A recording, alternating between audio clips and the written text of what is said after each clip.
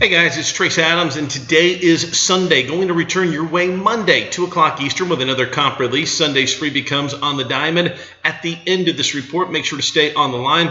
Last couple of days, certainly not up to snuff. I have followed back to back to back winning days with a pair of losing days here this weekend, and it's time to close the weekend strong. No two ways about it. I've got a 2 0 sweep lined up for you. Keep in mind that even though we've taken the hit the past two days, still on the plus side, 17 of the 26 days here in the month of July, and also over the past 287 days at just $1 bet per unit, you're still up well over 77 grand at $77,200 at $1 bet per unit. Today, winning day 112 of 190, and we do it with another raise the bar 1500 star. It's winner number five in a row and number 38 of 60, 64 overall. It's my line value lock. If you're watching this video, that means the play is still available. I've nailed four straight, raised the bar 1500 stars, including the Royals this week on Wednesday over the Angels and the Mariners plus a buck 15 on Tuesday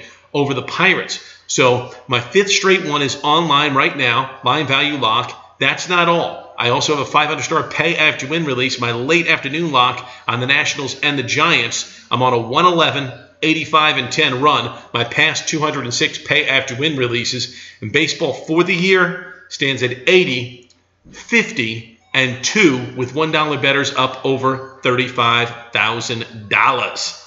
So there you have it. There it is for Sunday. Two plays and two winners. Your comp winner today is to go under with Colorado and the New York Mets. Right now, the New York Mets couldn't score with a fistful of 50s in a cat house. They have been absolutely dreadful at the plate, and it's highly unlikely the Rockies are going to get much going against Noah Syndergaard this afternoon at Citi Field. I like the under in the Rockies and the Mets on Sunday afternoon. Rockies Mets to hold under. We'll talk to you Monday, 2 o'clock Eastern. As always, Trace Adams, dead serious about